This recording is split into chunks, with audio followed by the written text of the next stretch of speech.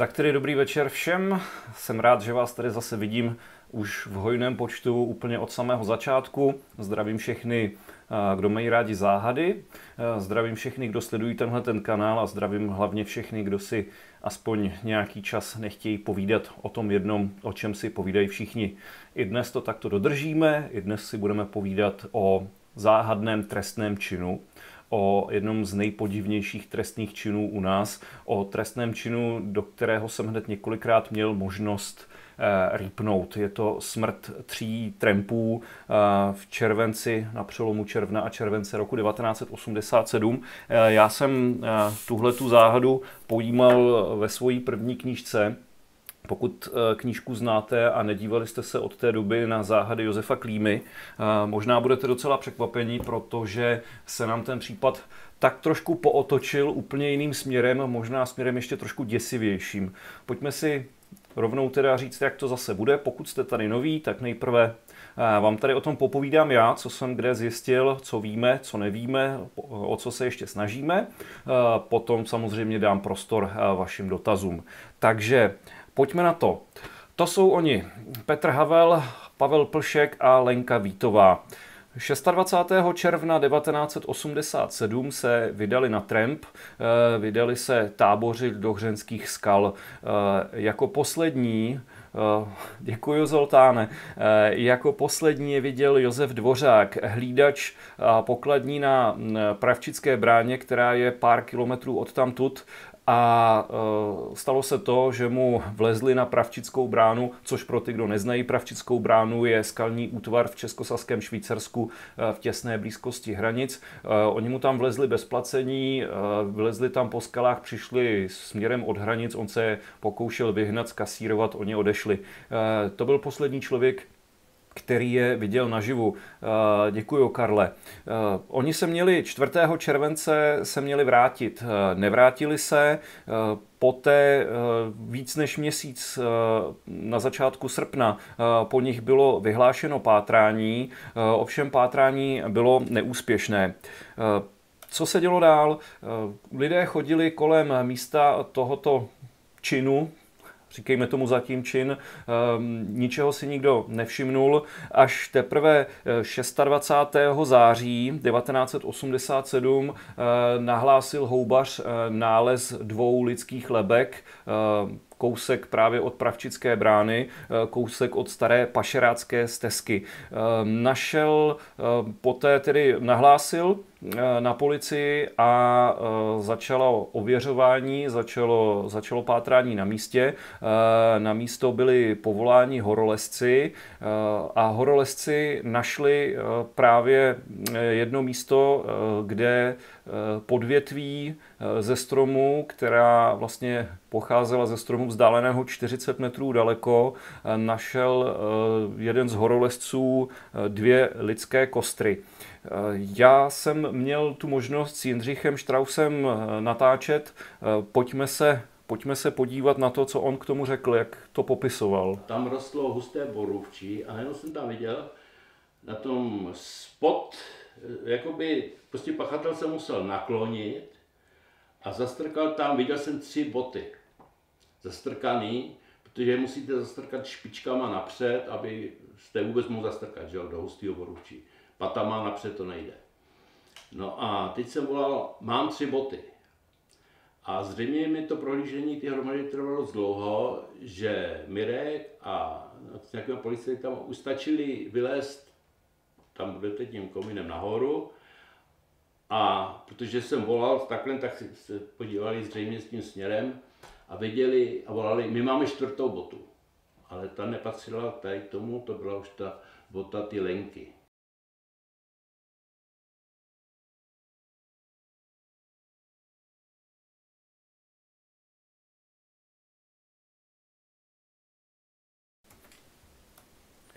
Tak, tolik Jindřich Strauss. Eh, děkuji Petře.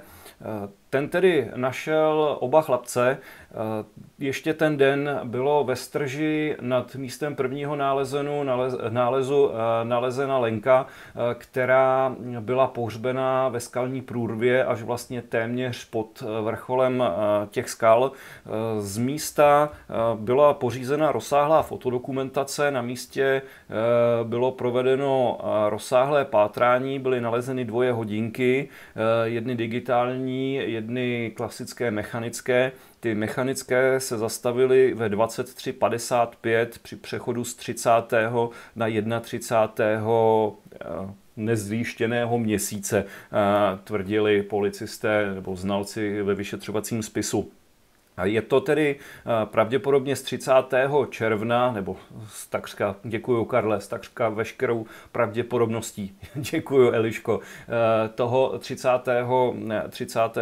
června teda vás, teda dnes, vy, vy mě zase dneska krmíte, děkuju. No, eh, Později bylo určeno, že k úmrtí došlo ještě 29. června kolem 9.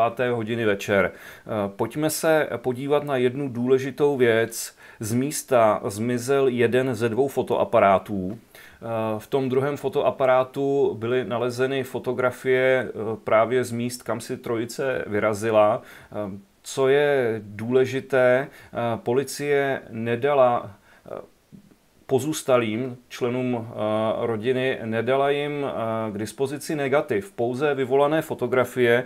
Vyvolává to určité pochybnosti, policie pravděpodobně nechtěla, aby spatřili, děkuji Ondro Petře, eh, nechtěla, aby spatřili eh, ty poslední fotografie. Ehm, matka jedné z obětí se domnívala, že to bylo proto, že je tam vyfocený vrah. Ehm, já si myslím, sdílím názor Jindřicha Strause, že tam vrah vyfocený není, protože kdyby tam vrah vyfocený byl, tak eh, by ten fotoaparát zmizel stejně jako zmizel ten, ten druhý. Dost možná ten pachatel byl vyfocený na tom druhém fotoaparátu, který zmizel. Děkuju, zdravím do Přerova. Pojďme kousíček dál. Rozjelo se vyšetřování, policie odvedla, nebo tehdejší veřejná bezpečnost obrovskou mravenčí práci. Eh, oni se pokusili stotožnit podle přezdívek eh, téměř 400 trampů. Eh, děkuji Tomáši, doufám, že se vám bude líbit i dál. Až nakonec, nakonec 30.12.1989 vyšetřování ukončili s tím, že se nestal trestný čin. Což je poměrně zvláštní, protože jedna z obětí, jeden z chlapců byl spoután. Byl spoután takzvanou francouzskou vrcholovou smyčkou. Eh, nevím, jestli jste jezdili na prázdniny na tábory, kde vás učili eh, různé smyčky a uzle. Já teda jo, ale francouzská vrcholová smyčka, tak tu teda nás, tu nás neučili, neučili ani jednou. Pojďme se podívat na to, jak to vypadá na místě činu. Já jsem se tam samozřejmě vydal s kamerou. Eh, byly sledovány eh, některé, hned několik vyšetřovacích verzí. Eh, první, otrava houbami či konzervou. Tomu neodpovídá, že tělo Lenky bylo pohřbené v přibližně 15 až 20 cm hloubce. Tomu také neodpovídá, že chlapci byli přikrytí větví. Uh, druhá varianta, pád ze skály. Uh, opět, chlapci by asi neleželi eh, spolu na jednom místě přikrytí větví a asi by z té skály nespadli úplně všichni. A když by z té skály spadli, těžko by potom po své smrti vylezli na ten skalní ostroh.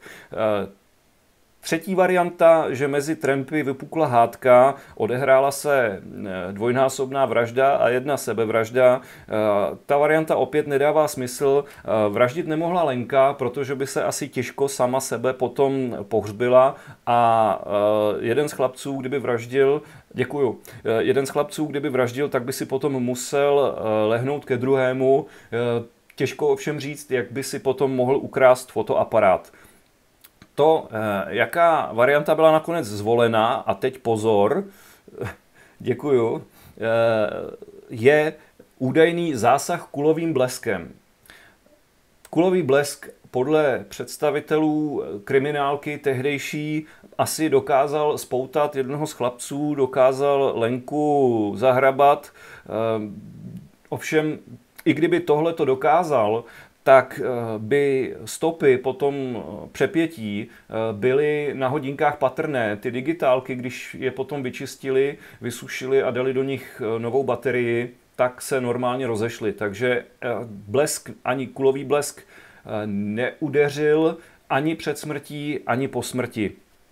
Co je ovšem velmi podivné, poté, co tedy vyšetřování bylo ukončeno, děkuji Jaroslave i Richarde, poté, co bylo vyšetřování ukončeno, tak 23. října 1990 e, nadpraporčík Šmarda objevil v blízkosti místa činu asi 4 metry od, od křížů, nalezl, nalezl brýle které zřejmě v dřívější době byly buď zabaleny v papíru nebo papírem přikryty, papír jejíž přírodními vlivy zničen, brýle byly z místa vzaty, je možné, že patřily některé z obětí.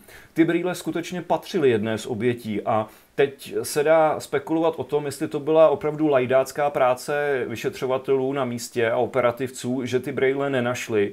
Ehm, já si spíš myslím, že je tam někdo donesl někdy v roce 1990, ehm, což eh, samozřejmě eh, je dost podezřelé.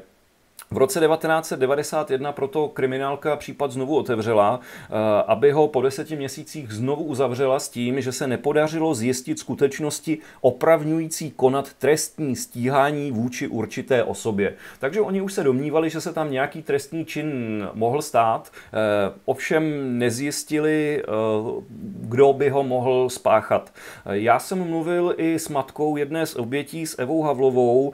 Ona mm, pátrala na vlastní pěst, nedala tomu pokoj, docílila toho, že v listopadu 1992 otevřel případ eh, Úřad pro dokumentaci činnosti STB, později Úřad pro vyšetřování eh, zločinů komunismu, a který eh, se domníval, že v tom mají prsty pohraničníci. Pojďme se podívat na to, jak mi paní Havlová představovala jeden důkaz. Tady bych se chtěl trošku omluvit za ledabelou práci s kamerou, je to vzaté z hrubého materiálu. Eh, myslím si ale, že to velice dobře ukazuje tehdejší směr pátrání. Paní Havlová byla přesvědčena o tom, že pohraničníci eh, byli vrazi, že je na ně eh, ten vrátný na Pravčické bráně poštval a že tam došlo k nějakému sporu, při kterém pohraničníci vraždili. To je ten zápis z toho dne? Ano. Aha. Co tam teda, co z toho se dá vyčíst? Dá se vyčíst, že vyjíždí auto, vozidlo 16 až 17, mm-hmm. 16 hodin podle, podle tam byli, podle dvořáka.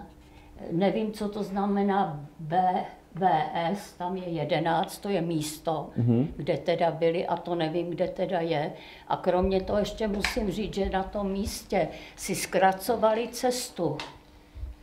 Pohraničníci mě pořád tvrdili, že tudy nechodili policajti, mi to říkali. Z té trojice pohraničníků žije už pouze jenom jeden. Já jsem ho našel, konfrontoval jsem ho eh, právě s těmi záznamy, eh, které objevila eh, paní Havlová. Děkuji, Jirko. A On tvrdil, že v době, kdy se ta věc stala, on byl na dovolené, což tedy prokazatelně nebyl.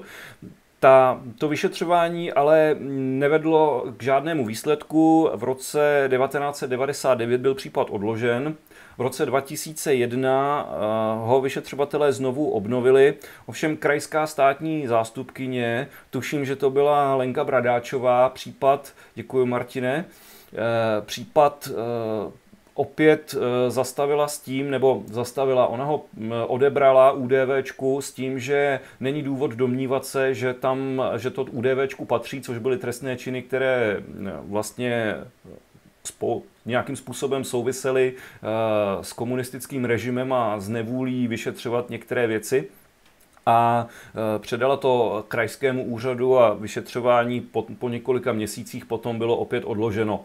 E, já jsem mluvil s pozdějším státním zástupcem, e, který se vlastně na ten případ podíval, když jsme o tom tuším před třemi lety natáčeli a on mi řekl, že vlastně ten případ byl znovu odložen v tom roce 2002 z toho důvodu, že z těch variant otrava, hádka, nešťastná náhoda, vražda nebyla ani jediná, která by nějakým způsobem výrazněji převažovala v pravděpodobnosti nad těmi ostatními variantami. Já teda tenhle názor nezdílím. Podle mě stačilo použít selský rozum a stačilo použít vylučovací metodu. Pojďme ještě k jedné velmi důležité záležitosti, protože eh, ten samotný nález eh, na začátku září odstartoval nález dvou lebek pod skalním převisem, které, na kterém se později našla ta dvě těla, nebo ty už v tu dobu pouze kostry. Ty lepky byly velmi blízko sebe a sám nálezce, nebo děkuji Martine, sám ten, kdo vyhodnocoval ten nález, to eh, vyhodnotil tak, že ty lepky eh, tam byly s největší pravděpodobností přineseny. Děkuji, Jardo. Vyšetřovatelé z UDVčka později dělali vyšetřovací pokus, kdy se pokoušeli z místa, kde, jak tedy bylo oficiální varianta, že se ty lepky po nějakém čase oddělili a skutálili se, tak si tam pokoušeli kutálet ty lepky. Eh, ty lepky se jim tam, eh, děkuji Petře, eh, kutálely všemi směry ani jednou neskončili ve stejném místě a ani jednou neskončili blízko sebe. Podle všeho tam někdo uklízel a když uklízel, tak byl, tak byl vyrušen a mm, Jindřich Strauss eh, z toho dovozuje, že skutečně eh, na tom trestném činu měli svůj podíl pohraničníci, protože jednak tedy policie nevrátila negativy, nechtěli eh, soustředit pozornost pozůstalých na, na toho hlídače Dvořáka. On to byl pomocník pohraniční stráže, něco jako ideový no, práskač, řekněme. Tam vlastně všichni obyvatelé v okolí hranic byli e, motivováni a povzbuzováni veřejnou bezpečností i pohraničníky, aby kontrolovali, hlídali, špiclovali a hlásili kohokoliv podezřelého.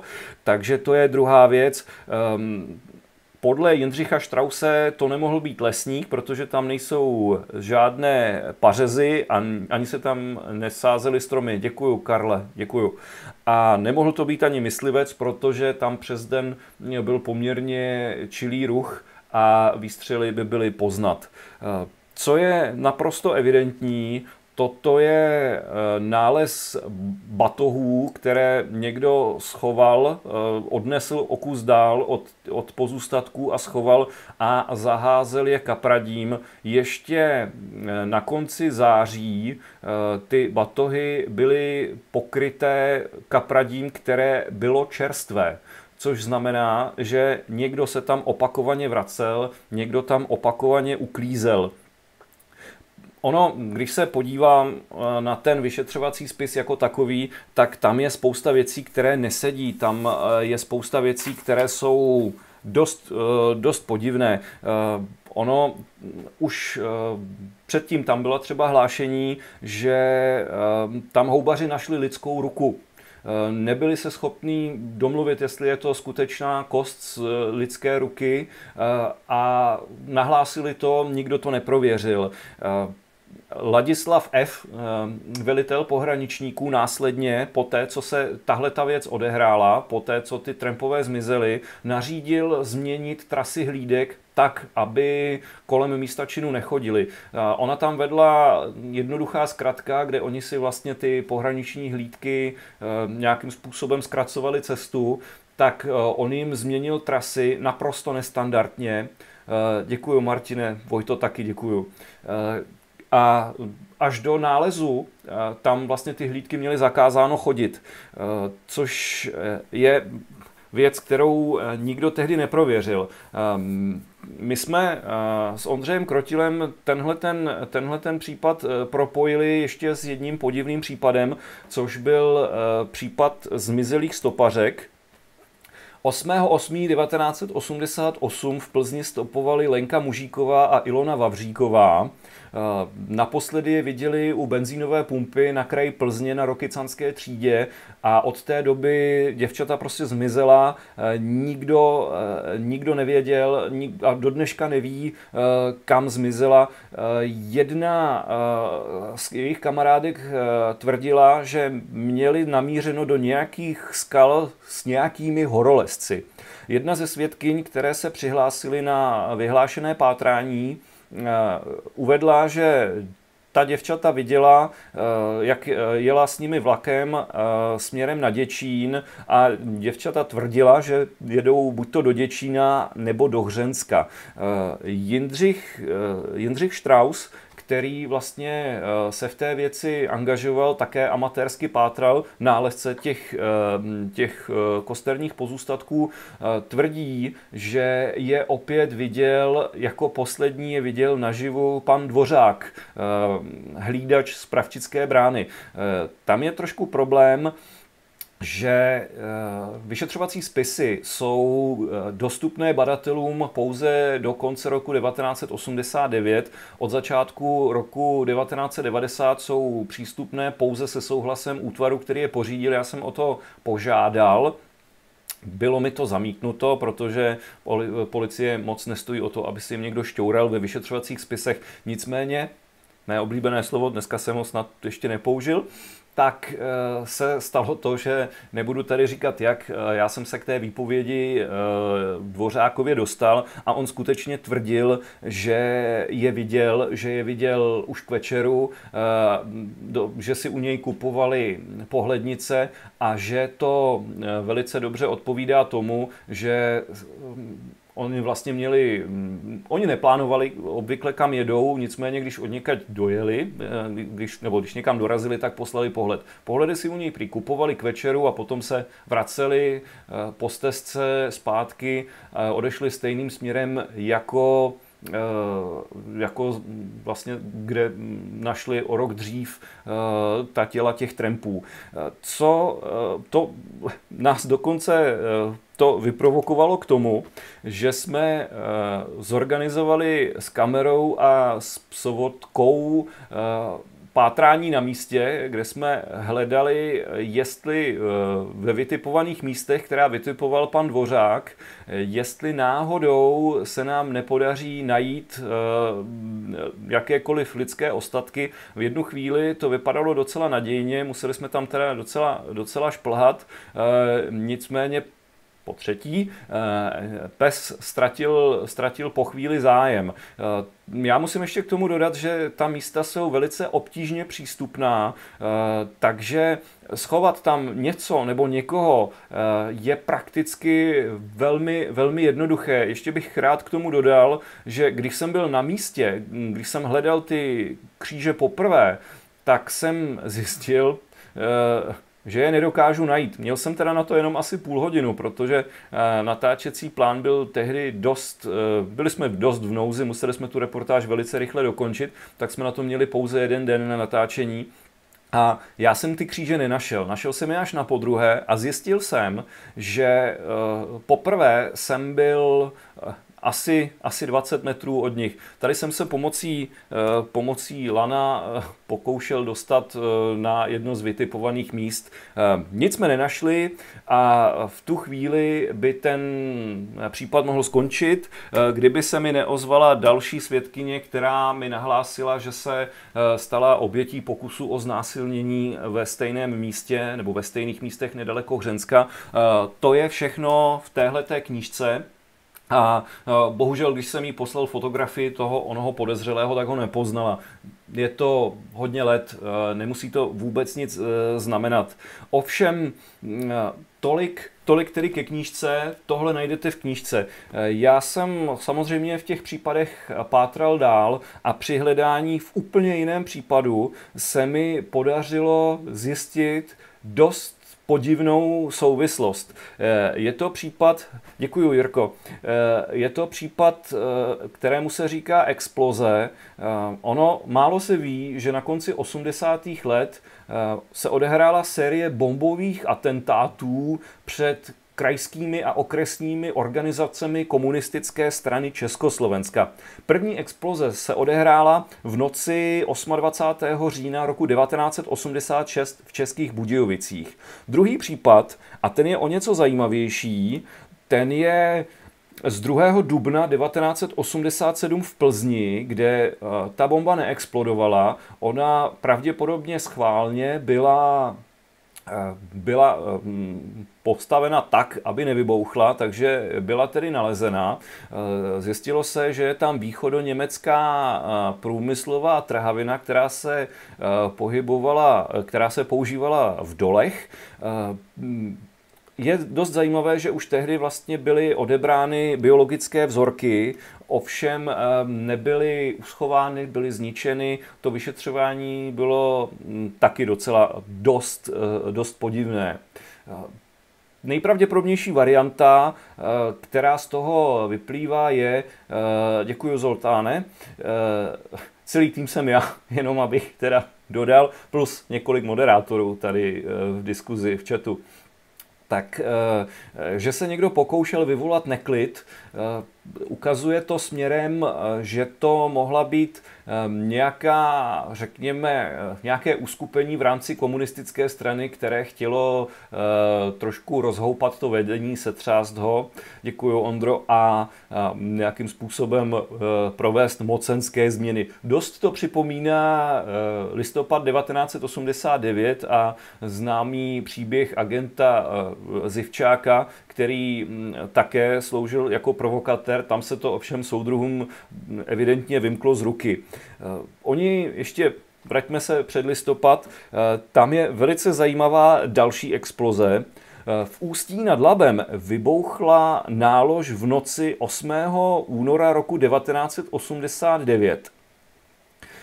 Což je velmi e, zajímavé, že v jedné z kanceláří tehdejšího krajského výboru se před výbuchem svítilo a po výbuchu eh, tam někdo zhasnul. Evidentně někdo ten výbuch eh, pozoroval. Udělalo to teda jámu jako kráva, jestli se teda, eh, podívejte, je tam dokonce měřítko, takže pecka to musela být slušná. Po každé to bouchlo v noci, aby se nikomu nic nestalo. Co vyšetřovací spis neobjasnil ani neobjasňoval, proč byla v Ústí nad Labem založena vyšetřovací skupina pro akci Exploze měsíc předtím, děkuji Zdeňku, měsíc předtím, než se výbuch odehrál. To je, mohlo to být samozřejmě preventivně, eh, Ovšem nikde se nedochovaly z jiných okresů eh, zprávy o tom, že by tam ty skupiny vyšetřovací preventivně zakládaly. Věc, která je dost divná. Pojďme ovšem dál.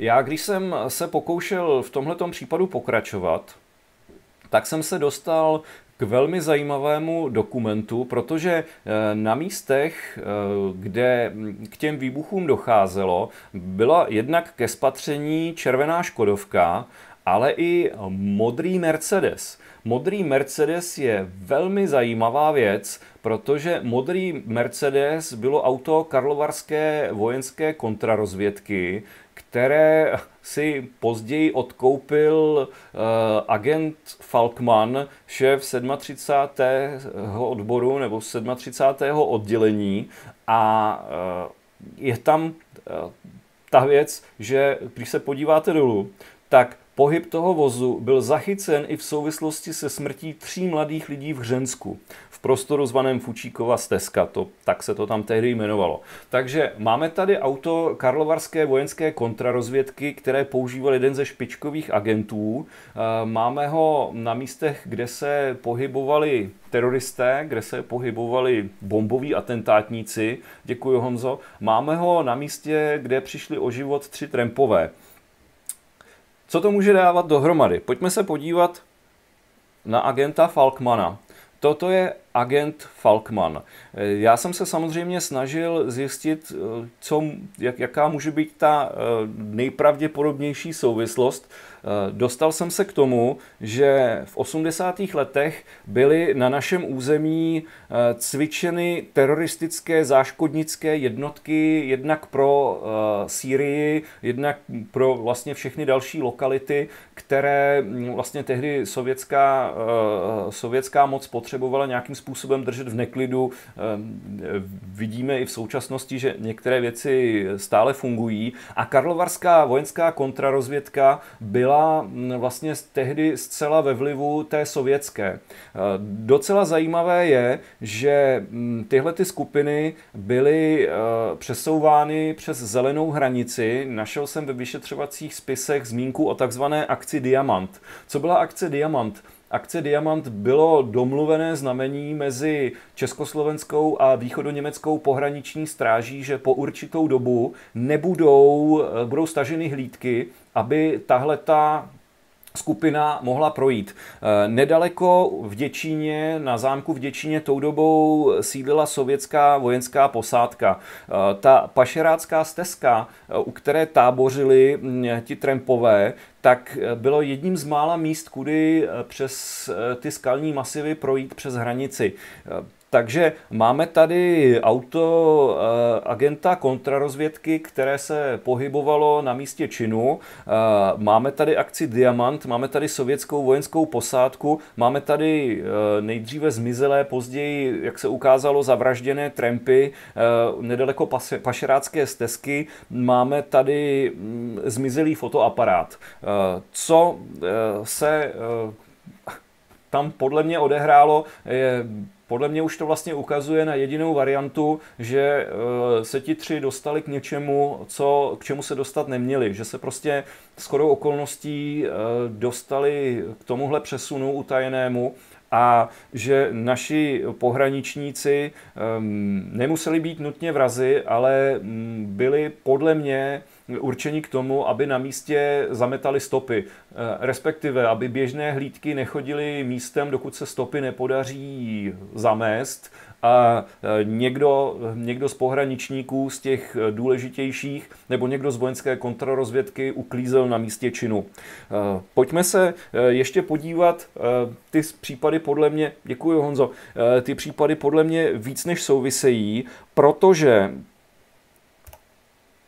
Toto je agent Falkman, eh, jeho výpis. Eh, to černé, co vidíte, tak to je jeho kariéra eh, v polistopadových složkách bezpečnostních. On byl vlastně od roku 1988 náčelníkem 37. odboru, já, co jsem v jeho personálních materiálech viděl, tak to byl velice, řekněme, kovaný komunista, který ovšem udělal velmi dobrou kariéru uh, i v polistopadových uh, složkách. Proč je to důležité? Není to důležité jenom kvůli tomu, že ten případ někdo do dneška podle mě nechce vyšetřit, Eh, ale je to důležité i kvůli tomu, že i v případě exploze eh, se po roce 1990 na ministerstvu vnitra pokoušeli ten případ vyšetřit. A ta vyšetřovací skupina pracovala v utajení, nejenom v utajení eh, mezi vlastně před Eh, před veřejností, ale oni konspirovali i mezi ostatními odbory a vyšetřovacími skupinami v rámci ministerstva vnitra. Oni se, ti vyšetřovatelé se báli o svůj život a vyšetřovali to tak tajně, že ani jejich nejvyšší nadřízení nevěděli, že, že se to vyšetřuje. Eh, což eh, myslím si, že velice dobře to koresponduje s tím, eh, co agent Falkman ještě dělal za kariéru. Samozřejmě zeptáte se, zeptáte se co, co agent Falkman, jestli je dál naživu, jak se mu dál, jak se mu dál žilo. Mně se podařilo ho najít. On mm, na začátku tohoto roku jsem ho našel, na začátku loňského roku jsem ho našel, pardon. Eh, on žije nedaleko Prahy, hovořil jsem s jeho manželkou, eh, ta mi tvrdí, že mm, její muž už je velice těžce nemocný, že už nevychází, že už si nic nepamatuje, že má několik velmi těžkých nemocí a že eh, kdyby, mm, jako, že prostě rozhovor není možný, že už si ani nic nepamatuje. To si myslím, podle toho, co jsem se dozvěděl na místě, si myslím, že je, že je skutečně pravda. Takže eh, samozřejmě tady je ještě prostor pro nějaké další bádání. Nevím, jestli náhodou to není tak trošku o ústa už, protože eh, tam eh, potom byly nějaké soukromé banky v divokých 90. letech, divoká bohatnutí, eh, se kterými okruh těchto osob nějakým způsobem přišel do styku. Ehm, přiznám se, nejsem v tomhle zas až tak moc daleko, takže pokud někdo sleduje, někdo z těch, kteří potřebují, aby se, abych se nedostal moc dál, můžete být, můžete být zatím docela v klidu. Takže to je, to je k téhle té věci. Eh, já tady jsem se pokoušel to nějakým způsobem dát dohromady, eh, co kam až jsem se dostal. Samozřejmě ještě jsou nějaké možnosti, třeba se mi po tomhle streamu ještě někdo ozve, kdo by mě třeba mohl nějakým způsobem nasměrovat. Chtěl bych tady probrat ještě, ještě jednu věc, už tady stíhám trošku koukat se, eh, koukat se na donaty. Já jsem rezignoval, protože ono se to hezky rezignuje teda v takovéhle situaci, eh, protože se mi i do mailu už ozvalo několik lidí s tím, že eh, by rádi, aby bylo členství a aby mě mohli nějakým způsobem podpořit. Eh, já jsem se na tyhle ty opakované výzvy rozhodl víc vstříc vám i, i sobě tedy, ale zvolil jsem jiné řešení. Pakliže skutečně trváte na tom, že mě chcete podpořit a nechcete tady, nemáte možnost posílat donaty nebo nějakým e, způsobem, e, tak jsem založil transparentní účet. E, to je účet, na který, který se chová jako standardní běžný účet, akorát, že každý vidí, co se na tom účtu děje. Pokud tedy na tom trváte, je to podle mě nejjednodušší řešení. Uvidíte tam nejenom co přichází, ale i co odchází. Eh, já se tady v tuhle tu chvíli zavazuji svým slovem, víc toho nemám, slovo dělá chlapa snad, že vlastně všechny, eh, všechny ty prostředky eh, vám vyučtuju, povím, ukážu, zdokladuju, na co všechno byly použity.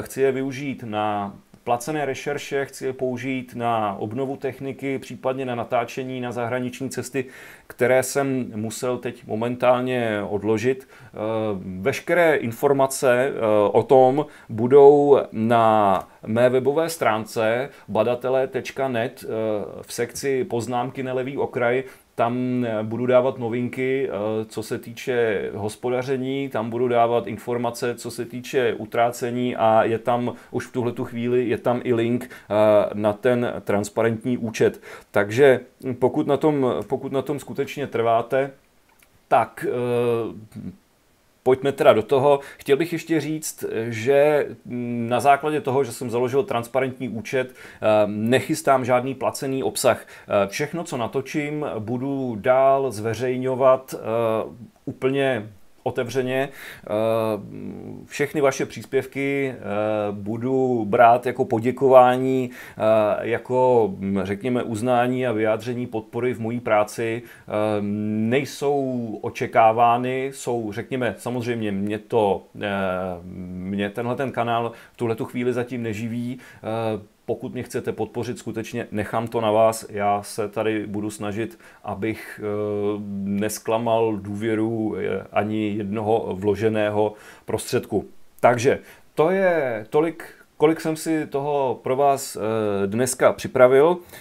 Pojďme na vaše případné dotazy, pakliže jsou samozřejmě uvítám ideálně dotazy k věci. Ano, Tady je ještě Wilson kanál jedna, jedna připomínka, že eh, všechny donaty eh, už eh, jsou nějakým způsobem spoplatněny, že si z nich YouTube bere, já nevím, jestli 30 nebo 40% To je samozřejmě výhoda toho transparentního účtu, že mm, tam ty, tyhle ty provize pro nadnárodní společnosti nejsou.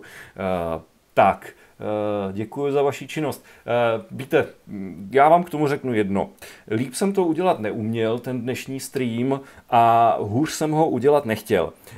Mám tady samozřejmě i trošku abyste se nemuseli koukat jenom na mě, tak jsem si pro eh, dotazy přichystal i mm, takové připomenutí toho, co jsme dneska všechno probírali. Takže připomínka. Uh, není možné, aby sám ten tajný agent zabil ty tři trampy. Uh, podle mě on nemohl, on nezabíjel všechny ty tři trampy, on vlastně dohlížel za československou vojenskou kontrarozvědku na zdárný průběh celé té akce ti vrazy podle mě s největší pravděpodobností byla ta cvičená nebo vycvičená jednotka, ať už se přesouvala eh, z Německa k nám nebo k nám do, od nás do Německa. Eh, takže eh, podle mě právě tam bylo mm, to, že oni se rozhodli tu věc nějakým způsobem vyřešit tak, že se ji pokusí, že se ji pokusí utajit. Málem se jim to podařilo, skutečné pachatele se jim podařilo utajit až do dneška. Eh, nejvíc mě zajímá ten Mercedes, kde ho STB vzala. No, oni měli poměrně dobrý přístup k veškerým devizovým prostředkům.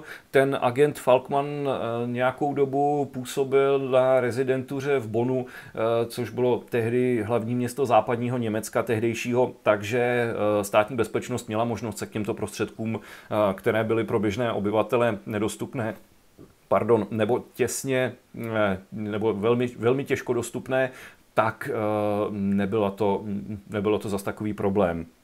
Eh, tak pojďme dál. Bude video o Černobylu, když je to výročí.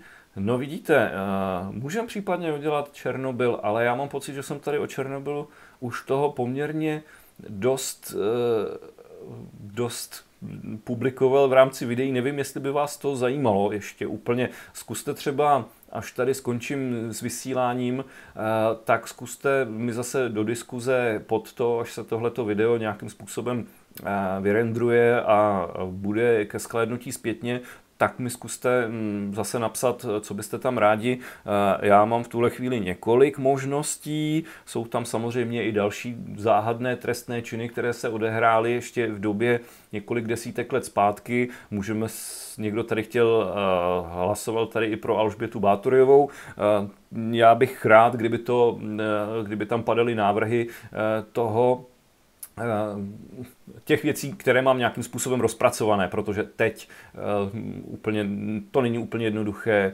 uh, úplně jednoduché bádat. Příčina úmrtí. Eh, no, příčina smrti u všech těl eh, se nepodařila jednoznačně, eh, nepodařila se jednoznačně zjistit, což znamená, ono byly nalezeny prakticky jenom už jenom kosterní pozůstatky, což znamená, že pakliže by došlo k nějakým zlomeninám, pádu ze skály nebo něčemu takovému, tak by se to na těch kosterních pozůstacích nějakým způsobem dalo poznat.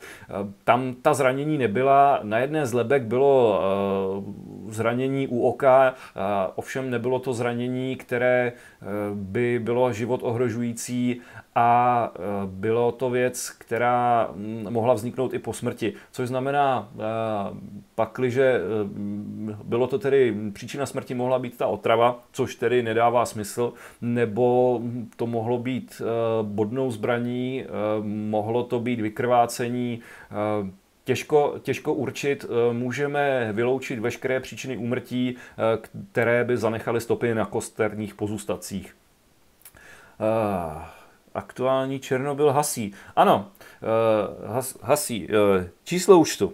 Vrátím ještě na okamžik číslo účtu, eh, aby eh, jste si teda mohli obsat. Eh, jinak samozřejmě všechno najdete na mém webu. Rád bych se zeptal, když se zúčastníte další expedice do Tater měsíční šachta. Tam to záleží hlavně na tom, kdy se otevřou hranice a kdy se nějaká další badatelská výprava, na kterou budu přizván, odehraje. Já věřím, že by to mohlo být. Uh, Gambíny, děkuji, dobrý večer, děkujeme za stream. Co znamená v, ve vašem jméně? Rádi bychom pokračování želiva a něco ze znojma. Tak, pokračování želiva bude, jakmile bude něco nového v tom případě. Znojmo plánuju a Včko, Eh, já jsem zjistil, když jsem se rozhodl, že teda ty válečné přebytky, které mi zbydou ze zpracování reportáží, eh, že je začnu dávat do knížek, eh, tak jsem u nakladatele narazil na jeden problém. A sice, že už existuje jeden Jaroslav Mareš, který píše knížky a píše knížky o záhadách. Tudíž jsem se musel odlišit a nenapadlo mě nic lepšího, než si ke svému jménu něco přidat. Já jsem nemohl zvolit pseudonym, protože e, stejné věci zpracovávám pod svým občanským jménem jakožto televizní reportér, tak jsem si musel něco přidat. Inspiroval jsem se na východě, v Rusku a V je po mém tatínkovi. První živý čet, je to super. Děkuji, že se vám líbí. Bylo vyhlášeno pátrání po těch zabitých osobách. Pokud jde o ty, o ty tři trampy, tak ano, bylo tuším 5. srpna, víc než měsíc potom, přesně 32 dnů potom, co se, co se měli vrátit z trampu a nevrátili se. Zajímal se i někdo další, co se doopravdy stalo, co jejich rodiny. Paní Havlová pátrala, vlastně možná nějakým způsobem ještě pátrá do dneška. Eh, ona by velmi chtěla objasnit, co se stalo jejímu synovi. Eh, bohužel nedá se, co, co vím, jsem vám už pověděl. Můžeme se těšit na něco nového na Seznam TV, nějakou tu reportáž. Můžete se těšit, běží tajemno, eh, běží tajemné podzemí a pokud teď můžu chvíli mluvit o té věci, tak eh, eh, ve čtvrtek v pořadu záhady Josefa Klímy poběží reportáž z jednoho našeho města, které vlastně bylo místem poslední velké epidemie, eh, kde byli i mrtví. Je to z 50. let minulého století. Já, protože toho dělám dost natolik, abych se v tom sám nevyznal, tak vám tady Eh, tak vám tady dám eh, několik adres. Eh, za prvé, to první je tedy moje webová stránka, kam teď teda jsem trošku v útlumu, nemám čas psát články moc na ní, ale tam vlastně najdete, dá se říci, hm, řekněme, rozcestník, skoro všechno, co se o mě nějakým způsobem dá dozvědět. Kde si můžu knížku koupit? No, vlastně ve všech knihkupectvích, teď vám to pošlou a jsou i e-knihy. Knížky jsem dal tři, dohromady, snažím se dát dohromady čtvrtou, zase najdete informace na kanále. Eh, na kanále, na webové stránce, pardon. Eh, co je nového, najdete na dvou místech, za prvé na Facebooku, na stránce badatelé.net a na Twitteru. Twitter používám k tomu, eh, aby právě když se někde online objeví nějaká moje reportáž, tak o ní dám vědět, ať už je to právě mm, publikované video, ne tedy živý přenos na YouTube, ať je to právě na webu televize Seznam tajemno nebo tajemné podzemí, případně záhady Josefa Klímy. Pojďme na další dotazy. Kolik let je agentovi Falkmanovi? Eh, Ježíš Maria, já mám pocit, že on se snad narodil v roce 1945. Eh, tahle stopa už eh, skutečně už je trošku, řekněme, vystydlá. Mm, já nemám důvod nevěřit. Mám důvod věřit, že věděl mnoho, že měl co říct, ale bohužel už neřekne děkuju, Filipe. V jednom díle o záhadách UFO jste zmínil případ u nás v Jenči. Nejsou k tomu nějaké nové poznatky? Eh, nejsou k tomu nové poznatky, ale je k tomu nové UFO. Eh, které natočila kamera, která neustále snímá eh, prostor eh, přistávací a odletové dráhy na pražském letišti. Mm, bohužel přípravu tohohle dílu tajemná, kde jsme chtěli ty zajímavé případy mm, UFO probírat, tak to zhatila současná situace. Plánujete něco nového s Lacem Lahodou? S Lacem Lahodou teď pracujeme na druhé sérii pořadu Tajemné podzemí. Vypublikovány jsou tuším dva díly, bude jich celkem 12, pakliže se nám je podaří dotočit i v současné situaci. Už toho nezbývá mnoho, ale druhá série Tajemného podzemí každý čtvrtek na streamu až do konce června. Podobný případ se stal v Albánii v roce 2001. Myslím, že šlo o tři Čechy. Dodnes se úplně neví, kde skončili. Jedna teorie je, že použili těla na orgány. Ano, tenhle ten případ eh, natáčel eh, můj šéf Josef Klíma a je to případ, který je mm, velmi podobný. Eh, můžeš doplnit, jak to bylo s netypickou taškou z Itálie, čili směr Rudé brigády. Ahoj Bobe, ještě zajímavost z pořadu Tabu o Hřensku, ale až v další zprávě nevejde se to najednou. Uh, ano, uh, na na mm, místě činu první exploze v Českých Budějovicích v roce 1986 našli pozůstatky igelitky italské provenience a tou dobou eh, vlastně mm, v Československu probíhaly eh, výcviky opět tajných jednotek paradesantních, už nevím, jestli paradesantních, jestli trošku nepřeháním, ovšem eh, byli to teroristé, kteří eh, patřili k takzvaným rudým brigádám a cvičili je opět Sověti ve vojenském prostoru Doupov eh, v Československu. Takže opět stejná cesta, podle mě další souvislost, jak to, jak to vlastně tyhle ty případy explozí a těch trampů spojit. Děkuju, děkuju za připomínku. Váš názor na Ludvíka Součka. A no tak Ludvík Souček je guru zdejších záhadologů a já škoda, že jsem se zatím měl tak málo času na seznamování s jeho dílem, ale samozřejmě hodlám to, hodlám to napravit. Kdo by mohl mít tu práci v tom zametání stop? Třeba se ty, třeba ty batohy zakrývané kapradím. No podle mě to byly podle mě to byli právě pohraničníci nebo lidé z tajných služeb, kteří měli vztah eh, právě k těm vlivovým opatřením eh, tady u nás, eh, kde já bych řekl, že prostě ty exploze nezabrali a když potom vymysleli mrtvého, mrtvého studenta Martina Šmída, takže se to zase vymklo z rukou. Podle mě nemůžu to opřít o žádný důkaz, ovšem podle mě těch souvislostí, je, já bych řekl, že to je práce stejné party. Takže pak, když máte pocit, že existují nějaké konspirační, konspirační teorie ohledně 17. listopadu, já bych je nepovažoval za až tak úplně nereálné. Tak, eh, proč ty batohy neodnesly? No, to je samozřejmě dobrá otázka. Eh, otázka je, eh, teda musím říct, ono dostat se na to místo je teda děsná práce. Tam cokoliv tam cokoliv nosit, tak to je teda, to je teda jako peklo a mm, dá se, nedá se čekat, že eh, by čím méně lidí o tom vědělo, co se tam, že se tam uklízí, tím lépe. Takže možná to byla věc, že mm, se k tomu ještě nedostali, že na to nedošlo. Eh, Ony ty batohy byly z místa činu odneseny, oni byly odneseny několik set metrů a pohozeny, pohozeny dál, takže je možné, že hm, to byla věc, která se třeba ještě plánovala, ovšem eh, nedopadlo to úplně. Co mohli ti tři vidět? No, mohli, mohli vidět uh, ty, kteří přecházeli přes ty hranice a ti, kteří přecházeli přes ty hranice, si evidentně mysleli, že je vyfotili. No a tak jako světkové museli zmizet a musel zmizet ten fotoaparát. Podle mě je to ta nejjednodušší, uh, ta nejjednodušší varianta. Co takhle záhady a Třebíč?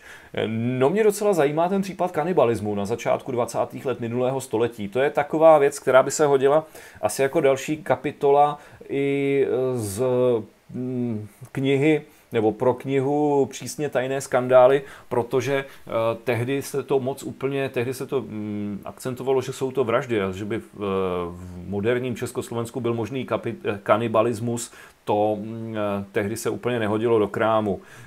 Nepřipadá vám, že ti Trumpové byli zavražděni organizovanou skupinou oficiální místa o tom nějakým způsobem věděla, takže ta těla byla schována Eh, dost amatérsky. Ehm, neumím to úplně, neumím to úplně vyhodnotit. Eh, případ herce Luťanského nebo Jirka Schillinger, o tom, o herci Luťanském nevím vůbec nic o Jirkovi Schillingerovi. Tam si nejsem úplně jistý, že by se tam dalo najít něco skutečně zajímavého. Je trochu o hubu, bylo by to zajímavé téma. Nevím, neumím posoudit. Neskoušel jste v rámci zájmu o podzemí požádat vstup o eh, vstup do střeženého objektu v Prochopském údolí a víte, že neskoušel. Eh, já mm, mám čas trošku omezený, nemůžu jít úplně po všem a tuším, jak bych se dozvěděl. Bude někdy díl o kulovém blesku? Problém, o kulové, problém kulového blesku je to, že o něm vím dost kulový. Eh, tajemno na seznamu, to je tedy odpověď. Co Svojanov? Svojanov bude, doufejme, a doufejme, že to nebude dlouho trvat. Eh, koukám, teď už to zase začíná, začínají se objevovat eh, dotazy na další témata. Nedokončený průzkum v panenském týnci jsem natáčel s televizí Prima, takže od té doby nic nového.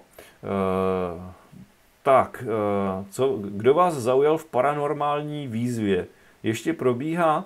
Eh, paranormální výzva probíhá, respektive je stále vyhlášena. Eh, kdo chce, může se přihlásit předtím, než se začaly dít ty věci, které se teď dějou. Tak v tu chvíli, v tu chvíli přišlo tohle, tohle ten problém. No. Takže teď je to pozastaveno. Teď tabu. Tehdy se tam mluvilo o tom, že snad měli mít trampové pořezané boty na zadní straně. Mluvilo se tam o přeřezaných šlachách a že tak vraždí opravdoví zabijáci. To má reálný základ. No, ono, ty uh, boty uh, byly skutečně poškozené. Tehdejší vyšetřovatelé to vysvětlují hnilobnými procesy. Na jedné z těch bot byla díra velikosti asi 1 cm. Ono to mohlo a nemuselo, Bobe, tak jako být. Je to věc, která je, řekněme, dost uh, nejasná, nechci říct úplně podezřelá. Je to asi uh, jako když tam uh, někdo bude tvrdit, uh, někdo tvrdil z vyšetřovatelů, že uh, to tělo té Lenky bylo uh, zaplaveno, uh, zasypáno pískem, který se tam postupně dostával. Uh, já si myslím, že dva metry ve skalní průrvě takřka pod vrcholem za tři měsíce přirozené splavování nemůže zasypat e, pohřbít lidské tělo do hloubky 20 cm. To by, to by tím fofrem už by tam žádný skály nebyly. Takže to je podle mě hodně podezřelé. Pokud jde o tu, o tu Kanadu, Taky se mi to nezdá, ale uh, musel by někdo asi udělat vyšetřovací pokus, uh, jestli hnilobný proces dokáže narušit Kanadu za tři měsíce. Já si myslím, že úplně ne. Uh, děkuji za doplnění, Bobe. Každopádně akce Kulový blesk. Obrátil bych se na Svěráka. Uh, no, to asi. Co věš Marko Manka na Zvíkově? Mm, tamnější Kastelán nemá úplně v lásce novináře a publicitu. Takže eh, to naše natáčení, eh, které tady bylo eh, vlastně před několika lety, no to už budou skoro čtyři roky, tady na YouTube, tak původně bylo plánováno pro Primu, ovšem to úplně neprošlo. Tak, kdy je tam našli? Jestli myslíte, jestli myslíte, tenhle ten případ také našli na konci září roku 1987. Masakr skautů v Jizerských horách, zase věc, eh, kterou jsem nestihnul se jí zatím zabývat. Eh, vy nás zlobíte. Ne, to není na mě. To je dobře. Ztratilo se vtipné video na YouTube, kde strašíte spolupracovníky v kanceláři. Je někde ke zhlédnutí. No, eh, já jsem ho asi smazal, to je pravda. No, možná můžem zresuscitovat třeba zase o Silvestra, protože až budu eh, na konci letošního roku bilancovat, kde všude jsem byl, co všechno jsem natáčel, tak si myslím, že to úplně nedá. Probíhá stále pátrání o dalších informacích o Hanzi Kamlerovi, někým z vašich zahraničních kolegů, badatelů. Probíhá. Probíhá a věřím, že někdy na podzim tohoto roku k té věci bude co říct. Ehm, neříkám, že to budu úplně nutně já, kdo k tomu bude mít co říct, ale doufám, že budu to já, kdo to bude moct přetransformovat do něčeho určeného pro naše území. Eh, s Andreasem Sulcrem jsme pardon, s Andreasem Sucrem jsme v kontaktu. On naštěstí má založenou filmovou společnost i tady, tudíž sem může jezdit, takže uvidíme. Nebádal jste někdy na zámku Zbyroch, je tam toho dost a dost. Díky za skvělý nedělní večer. Děkuji, teď jste mi ho vylepšil taky. Já jsem na Zbyrohu byl, natáčeli jsme tam s Lacem Lahodou studnu, natáčeli jsme tam teda díl tajemného podzemí, který bude Hmm, dokonce mám pocit, že to je snad třetí nebo čtvrtý díl, takže buď to příští čtvrtek nebo ten po něm. A myslím, že dokonce teď to bude. Takže to je věc jedna a rovnou jsme se tam s Kastelánem domluvili, že bychom udělali na podzim, do podzimní řady i tajemno ze Zbyroha, protože skutečně Zbyroh je velice zajímavý a jsem rád, že tam mám dveře otevřené. Něco zajímavého ohledně záhad na Královéhradecku já v tuhle chvíli netuším. Přiznám se, nevím. Peťu, děkuju, dě, děkuju za donate. Takže pojďme, přátelé, pojďme, přátelé, začít končit. Ahoj, Milko. Budeš tady zase zlobit dneska? Budou nějaká podzemí? Přátelé, podívejte se na moji webovou stránku, připojte se na, na Twitter a neuniknou vám ani podzemí, neunikne vám ani tajemno, neuniknou vám ani videa tady na YouTube. Asi bych tam na ten měl dávat i, i oznámení o, o streamech, mě tak napadá. No, Vojničův rukopis nedělal jsem, Kos, novinky o kostele v Kostelci u Kladrub, eh, práce pozdrženy vlivem současných opatření a badatelská skupina eh, má teď ještě něco eh, jiného na práci, takže se tam teď úplně nestihla vracet. Kdo je Milka, ale takový jeden zlobivý duch. Co si myslíte o zmizení toho osmého chlapce, osmiletého chlapce v Praze v 90. letech? Nic o tom netuším. Koukal jsem na vaše video Studna jediný, co je mi tam divné, že v tom záběru od hasiče je jiná studna, jak v tom časopise. Já si nemyslím, že tam je jiná studna. Ta studna je tam pořád stejná a je tam jenom rozdíl v tom záběru. Jeden snímek je na hasiče ve studni, který je ve skružích, potom je tam záběr, který je víc zazumovaný hlouběji do studny, kde už, ten, kde už ta studna není vyskružená. Takže Pozdravuje Janka a Daniel. Děkuju. Děkuju, pozdravuju zpátky. Připojil jsem se, až nyní nevím tedy, jestli jste všechno řešil nebo zmiňoval.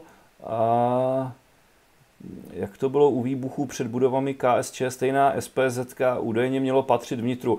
Patřilo vojenské kontrarozvědce a až tady tenhle ten eh, stream bude zpracovaný jako ke spuštění eh, pozdějšímu, tak se na to podívejte, probírali jsme to a podle mě je tam ta spojitost úplně, úplně jednoznačná. Něco zajímavého na konopišti, no to si myslím, eh, to si myslím, že mm, teď já se trošku samozřejmě, jak asi víte, zajímám i o Štěchovice a teď eh, zjišťuju, co je zajímavého na Konopišti.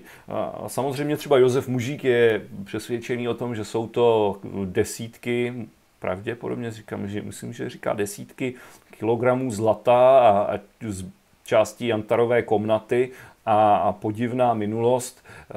Eh, já to nemám ještě eh, proskoumané všechno, tudíž o tom teď nebudu úplně říkat. Nějaké video z Pernsteina.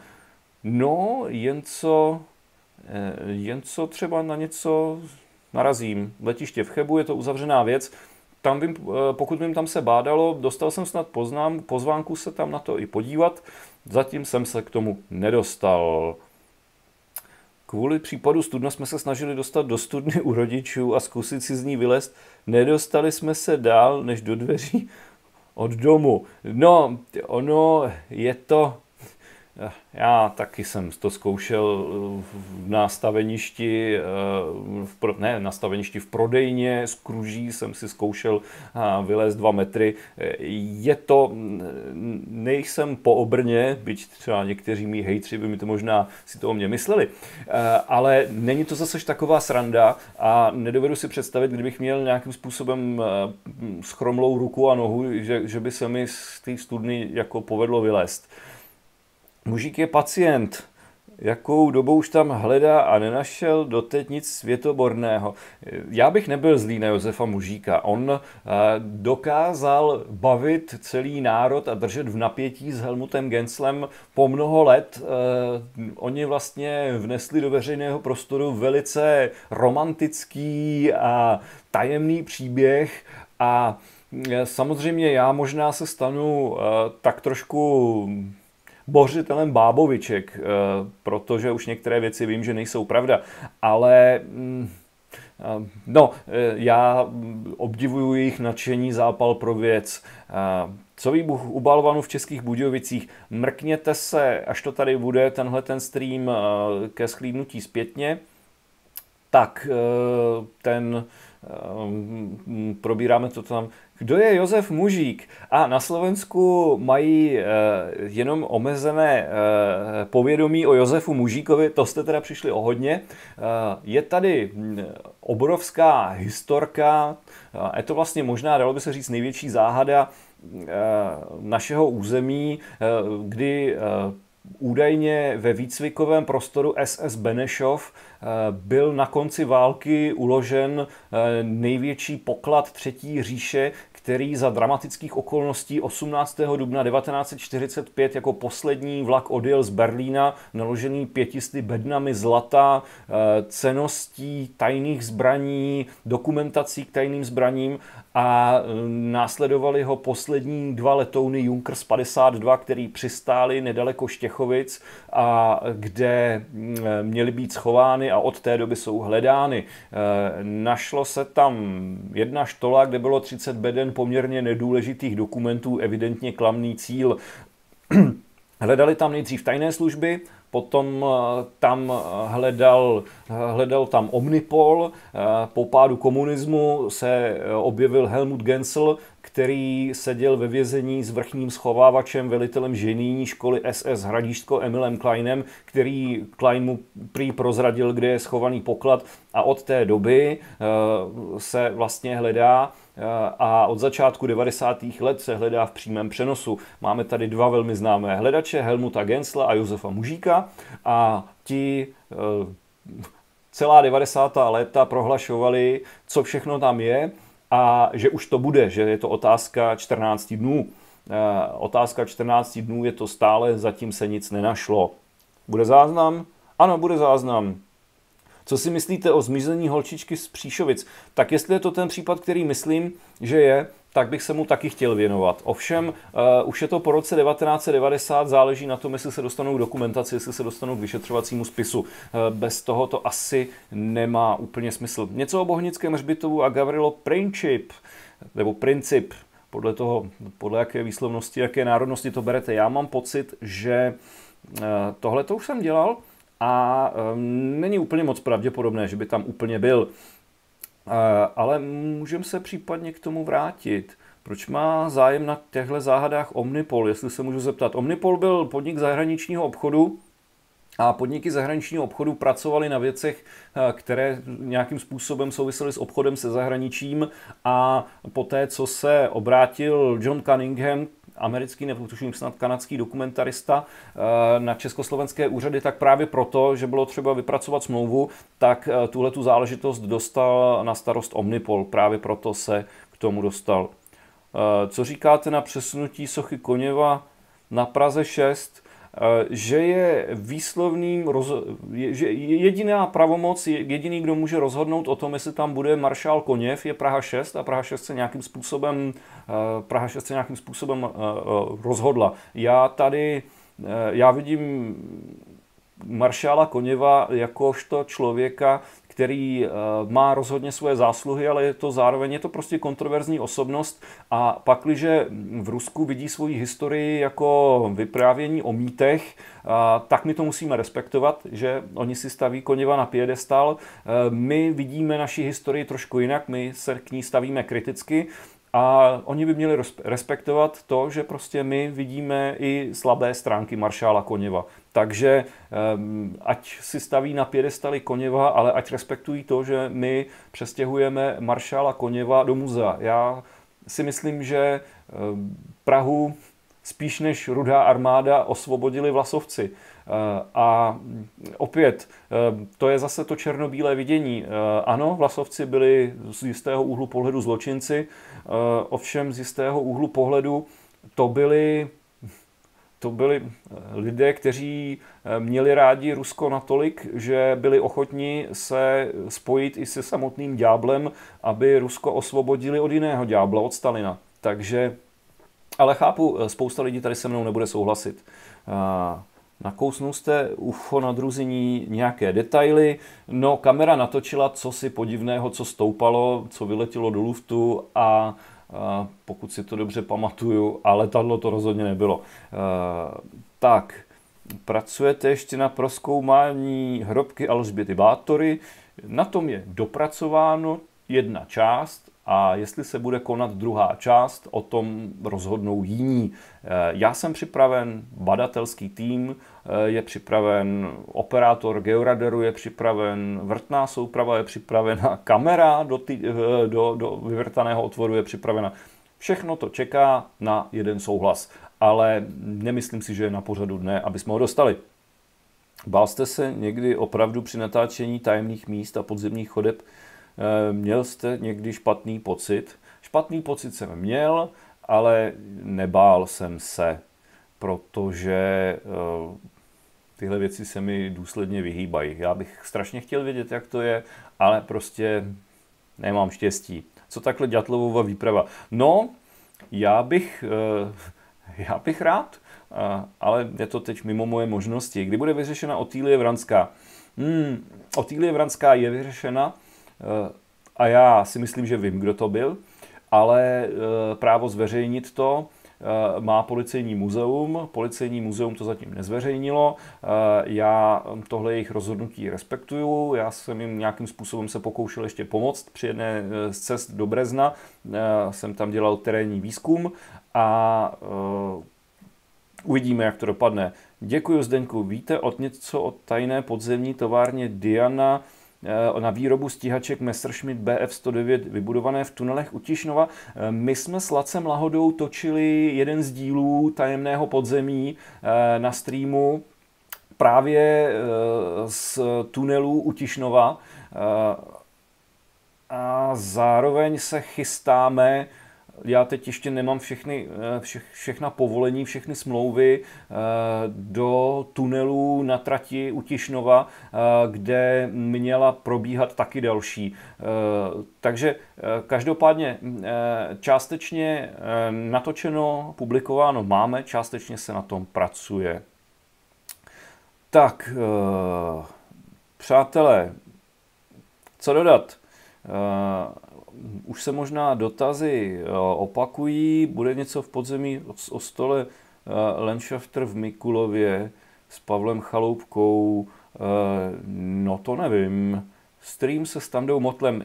Já se se Standou Motlem osobně neznám, ale asi by bylo fajn, kdybych ho oslovil něco pro něj bych možná měl a něco bych taky asi od něj potřeboval. Tak uvidíme, jak to dopadne. Eh, co, co DNA testy v případu Vranská, do kdy má muzeum exkluzivitu. Eh, po třech letech to snad zveřejníte. Eh, DNA testy v případu Vranská ještě úplně neskončily, pokud mám aktuální informace. A to je taky důvod, proč to policejní muzeum ještě nezveřejnilo, přestože má jiné důkazy, rádi by to nějakým způsobem ještě vyšperkovali.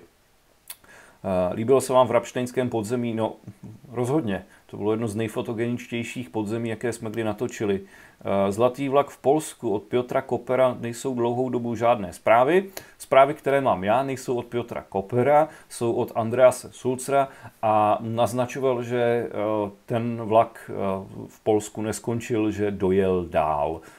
Já samozřejmě musím respektovat to, jakým způsobem se rozhodne zveřejnit své poznatky, tudíž se omlouvám, nemůžu k tomu říct víc. Jak jsou na tom data z Lidaru ze Štěchovic, to se budu muset Andrea se zeptat. Přátelé, hodina 18, z toho většinu jsem povídal a povídal a povídal. Už mě určitě uh, musíte mít uh, dost. Takže já vám zase poděkuju, děkuju za všechny donaty, uh, děkuju za veškerou přízeň, jsem rád, že se díváte, jsem rád, že vás to zajímá a doufám, že se tady zase uvidíme protože uh, nehodlám s tím zatím přestat. Uh, musím říct, že mě to nějakým způsobem docela, docela baví, jak se tady s váma dá probírat celá věc. Takže Děkuji za přízeň, mějte se parádně, no a já se budu těšit zase příště, protože nejenom videa budeme dělat, ale minimálně ještě nějaký čas budeme dělat i streamy. Třeba mě úplně neomrzej. A vás teda asi, pokud neomrzej vás. Díky, mějte se pěkně.